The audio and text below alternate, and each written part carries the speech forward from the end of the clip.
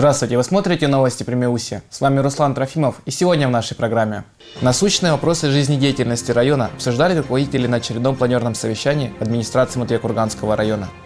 В 2016 году два детских сада Матвея-Курганского района приобретут статус казачий. Это было отмечено на встрече казаков с заместителем губернатора Ростовской области. Екатериновские школьники увлечены робототехникой. Из деталей конструктора они собирают модели умных машин. С помощью компьютерной программы управляют ими. И теперь более подробно. В понедельник в администрации Матвеево-Курганского района состоялось очередное планерное совещание административно-хозяйственного актива. Планерное совещание глава Матвеева-Курганского района начал с информации о предстоящем освящении храма святого Павла Таганрогского, в котором примет участие митрополит Ростовский и Новочеркасский Меркурий. 3 числа прошла канонизация святого старца Павла Таганрогского. Вот. И 14 числа Владыка Меркурий освящает в 9 часов наш храм. Э, работа колоссальная была сделана, но и, честно сказать, надо ее уже как-то так и завершить. Обращаюсь ко всем, если можете, помогите материально, э, благочинному, там собирается, мы собирали уже рабочую группу, там, в общем-то, есть процедурные вопросы, которые, ну, надо в подготовке. Вот то, что можно сделать руками, мы будем в этом активно помогать. Затем были заслушаны доклады руководителей служб по ситуации в районе. За минувшие две недели было зарегистрировано 141 сообщение о происшествиях с перспективой возбуждения 26, раскрыто 17. Наиболее резонансных, но из ранее совершенных у нас достаточно, достаточно редкое раскрытие. Э, с карточки 40 тысяч сняли с жительницы нашей установлен, кто цыган, он задержан, проводится сейчас дело возбуждено, проводится проверка. Это редкий случай в истории с. Значит, э, по э, ряду гараж у нас есть раскрытие, ну, в том числе вот такие резонансные, наверное, надо сказать. Это в ЦРБ у женщины украли деньги, э, телефон сотовый и сумку. Установлена, проводится проверка, дело там тоже возбуждено. Значит, также у нас ноутбук из дома похитен, похищен Матвеева Кургане. Также ноутбук найден, изъят. Э, сейчас проводится проверка. Потом у нас в Малокирсановке у ребенка украли геликометр, но это уже второй раз воруют. Родители первый раз не обращались. Э, проверка установлена, лицо сейчас также идет, продолжается проверка. За две недели произошел всего один пожар. Это случилось в поселке Красный Бумажник в многоквартирном доме квартире там мужчина предположительно заснул сигаретой. За задымление сильное было подъезда, пришлось эвакуировать э, граждан до ликвидации. Ну, в результате пожара э, там повреждения незначительные, задымление матраса было. Э, да, жив, здоров, в алкогольном опьянении находился. Травмированных, погибших нет. Заболеваемость по гриппу пошла на спад, но медики предупреждают, что расслабляться еще рано. К сожалению, вот пошел этот хвост, знаменитый эпидеми эпидемиологический, э, больные с пневмониями. Значит, у нас развернуто второе отделение инфекционное. И, к сожалению, в реанимации сейчас трое э, с тяжеленными пневмониями. Сегодня ночью мужчина поступил где-то был в командировке в Осетии, э, ну, в таком состоянии поступил, что пришлось сделать трахеотомию на аппарат, э, дышать, э, ну, крайне, крайне тяжелый. Э, то есть э, я хочу э, проинформировать все, чтобы расслабления не должно быть. Э, да, заболеваемость будет уменьшаться, но вот ни в коем случае вот, все равно не пускать на работы с этими с ОРВИ, всевозможными, отстранять от работы и, конечно же, обращаться побыстрее к медицинским работникам, потому что пневмонии, ну, процентов 80 всех ОРВИ заканчиваются пневмонией. Александр Рудковский еще раз проинформировал всех о том, что решением губернатора Ростовской области сохраняются существующие льготы по проезду для ветеранов труда, а их монетизация отменяется. Я так анализировал, в принципе, как бы этой услугой, ну, грубо говоря, пользуются 50% на сегодняшний день. Ну, образно так вот, чисто так вот, как говорится, плюс-минус туда-сюда. Вот. Поэтому тут как бы палка о двух концах. Э, с одной стороны, как бы 332 рубля, по-моему, да? Э, как бы они э, к пенсии тем, кто не ездит, это хорошо, а тем, кто ездит, это, конечно, плохо, потому что сегодня бесплатный проезд, он подразумевает хоть каждый день езди, по сути, как бы тебе это оплатят. А если вот взять Екатериновку, это только 100 рублей в одну сторону, если не ошибаюсь, так? Вот, тогда получается человеку, грубо говоря, туда-назад съездить, а потом уехать в Курган и не вернуться. Ну, по льготе. По сути. Поэтому я думаю, что эту работу мы вместе с вами, Александр Николаевич, проведем, чтобы понять, в общем-то, что сделать и как сделать. Но э, скажу прямо, что мы не должны допускать срыва никаких маршрутов. В конце совещания с краткими отчетами о проделанной за минувший год работе и планами на этот год выступили руководители УСЗН и МФЦ. Отчеты сопровождались демонстрацией слайдов с графиками и показателями.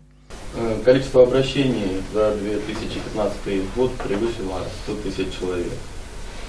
100 тысяч обращений. Это на 3-4% больше, чем в 2014 году. Из этих обращений более 25 тысяч было подано для подачи, была подача документов для предоставления той или другой услуги.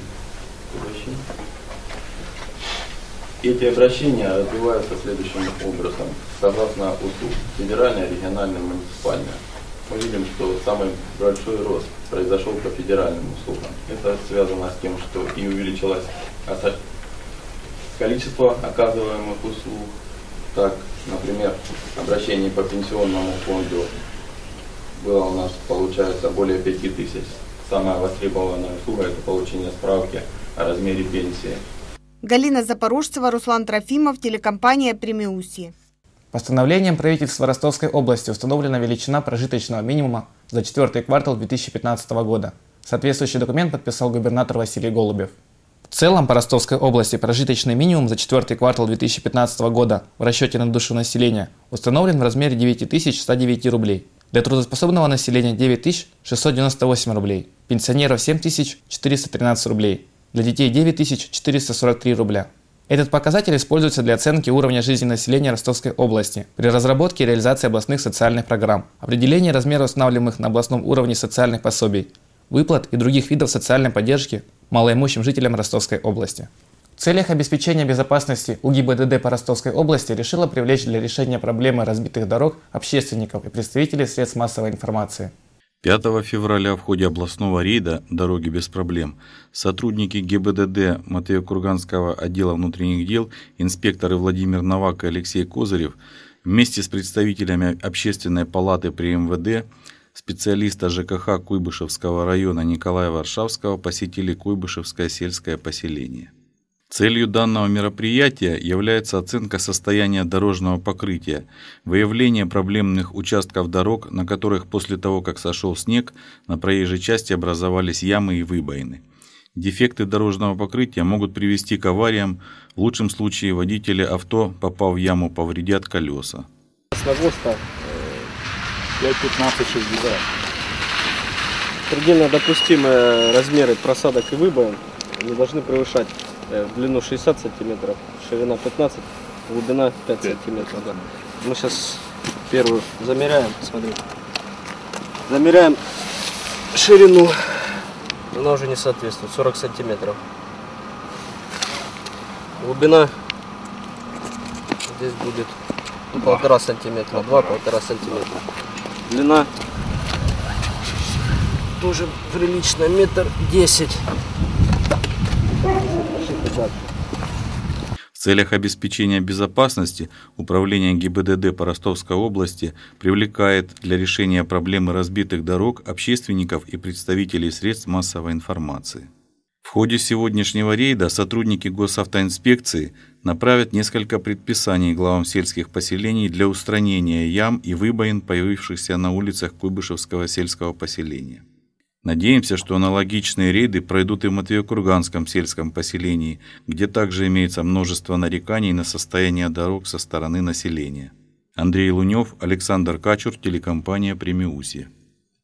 Состоялась встреча казаков Матвея-Курганского и Кубышевского районов с заместителем губернатора Ростовской области Михаилом Корнеевым. Он сообщил о высокой оценке, которую получил Донской регион на заседании Совета при президенте Российской Федерации по делам казачества – были отмечены успехи Ростовской области в плане развития кадетского образования, поддержки казачества и многим другим направлениям работы. В 2016 году особое внимание будет уделено деятельности молодежной организации «Донцы». Михаил Корнеев отметил, что молодых казаков следует активно привлекать к работе поисковых отрядов.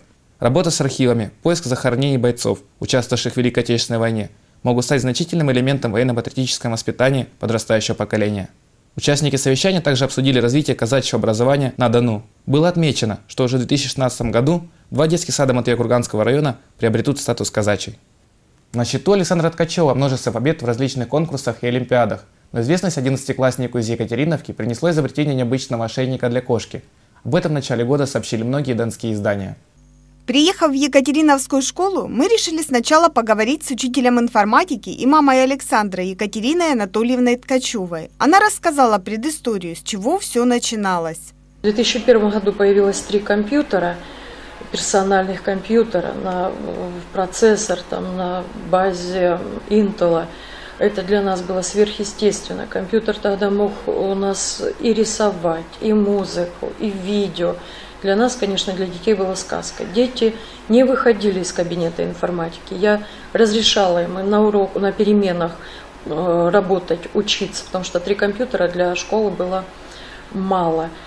Э, потом в шестом году добавилось еще шесть компьютеров, потом пошли закупки, и это стало жизнью. А потом пошла такая волна, как конкурсы. Детям участвовать в конкурсах очень нравится. Им не интересно просто сидеть и чему-то учиться. Им надо обязательно создавать проект и обязательно занимать места.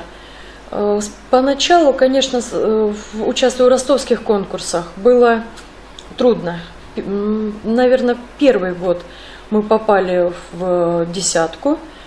Для нас это, это был 2004 год. Для нас это было очень что-то такое грандиозное. Потом э, года три мы работали, но мы не могли пробиться. А потом, наверное, э, в каком бы конкурсе мы не участвовали, мы были победителями, призерами. Победы екатериновских школьников во всероссийских и международных конкурсах стали делом обычным, а вот в области их почему-то упорно не замечали. Прорывом стала разработка чудо-ошейника. Это изобретение прославило Александра и школу, в которой он учится, на региональном уровне. В 2012 году мы с братом поехали в лагерь смена, и там проводился очень интересный конкурс проектов. Этот лагерь, он вообще был тематический на все проекты, то есть «Начни IT» назывался. А, и был конкурс проектов. И мы думали, какой проект нам сделать. Мы отталкивались от того, какие проблемы у нас случаются дома. И эта проблема была непонимание человека и кошки. Например, когда мы приходим домой, и кошка лазит по столам а, в поисках еды, или она ну, вечно чем-то недовольна, или наоборот, может быть, ей холодно. Мы решили отталкиваться от этого и вначале изучили, как кошка может нам передать информацию. А, ну, мы посмотрели в интернете, что это можно с помощью хвоста передать информацию. Также ну, решили, ну, решили считывать ее информацию с хвоста. А, потом звонили некоторым а, ветеринарам, звонили физикам, вот моему учителю физики, а, и спрашивали, возможно ли создание такого ошейника и как, ну, как, что можно использовать. И мы остановились на инфракрасном локаторе, который определяет, есть ли какая-нибудь вещь на данном расстоянии. Причем эта вещь, она может быть разных температур, и от этого будет изменяться расстояние. И то есть можно сделать такую программу, которая будет говорить, что э, если встретился на пути э, какое-нибудь тело с градусом таким, который у кошки, то это будет понятно, что хвост кошки, также определим, где находится этот хвост, и мы можем э, понять, что хочет от нас кошка. Информация о том, чего хочет кошка, будет передаваться на телефон хозяину. С этим проектом ребята заняли третье место, сделали бизнес-план, продумали, как можно его продвинуть и начали воссоздавать в реальность. На данный момент нам не хватает э, самих э, деталей, э, самой робототехники для создания ошейника, то есть именно легкой, потому что у нас есть, но она тяжелая, кот ее не потянет. А сам ошейник должен весить не больше 100 грамм, и поэтому мы э, хотим приобрести инфракрасные локаторы, которые сами весят не больше там, 10 грамм, процессоры, и в сумме это будет весить совсем немного. Кстати, делом ближайшего будущего является получение патента на эту полезную модель. Кроме того, еще в 10 классе Александр собрал команду мальчишек-единомышленников, преимущественно из одноклассников. Они начали работать над созданием компьютерной игры и в этом деле преуспели. Ну а главной задачей для него сейчас является хорошо сдать экзамены. С выбором будущей профессии Александр определился. Я хочу поступить в высшую школу экономики в Москве, а а на направление это ну, связано с программированием. То есть будет либо программное обеспечение, либо программная инженерия, э, информационная безопасность, ну что-то связанное с программированием. Этот учебный год войдет в историю Екатериновской школы не только достижением ее выпускника, но еще и тем, что на базе школы открыт филиал Центра детского технического творчества, в котором пятиклассники занимаются робототехникой. О робототехнике я слышала очень давно, меня эта тема очень интересовала. Э, Я понимала, что, что такое робототехника. Это конструктор, робот с компьютером. Дети могут написать программу, и робот будет себя вести так, как э, захочет человек. Вот идея робототехники. Э, Программы компьютерные, они виртуальные, а робототехника, она реальная, ее можно пощупать. Вот в чем смысл. И тут э, спасибо Александру Анатольевичу, он нас услышал, и в этом году было куплено в Центре детского технического творчества э, один конструктор Лего, э, с помощью которого ребята теперь могут создавать именно роботов и учиться программировать уже систему. Юным конструкторам приходится нелегко, но в итоге все получается. Вот, например, сейчас они собрали робот-сортировщик цветов и на перебой рассказывают о том, как он будет действовать, когда зададут программу. Это датчик касания. Когда на него нажимают, правда мы программу еще не задали, он, э, робот, что-то должен сказать. Либо, когда он подъезжает, у нас не такой робот. Когда он подъезжает к стене и касается, он может развернуться и поехать э, в другую сторону. Это не первый их робот. До этого были танк и сборщик кубиков. Особенно интересно техническое творчество мальчишкам. И для многих это увлечение не ограничивается рамками кружка. Я люблю ну, вот что-то создавать. Вот я сма- маленькую ракету делал вот недавно, когда из бенгальских огней. Маленькая ракетка, она летала. Вот, люблю создавать что-то. Ну вот именно там в интернете нахожу э, разные э, видео, там где делают что-то там э, маленькие машинки вот на вибраторах, они ездят. Я делал много раз. И пусть прибор для определения количества рыбы в водоеме был ими же и съеден, а двухэтажный велосипед пока только в проекте, эти ребята, несомненно, талантливы. И можно с уверенностью сказать, за ними будущее. Галина Запорожцева, Руслан Трофимов, телекомпания «Премиусье». Это пока вся информация. Эти и другие новости вы сможете найти на нашем сайте news.info. Я с вами прощаюсь и желаем хорошего настроения.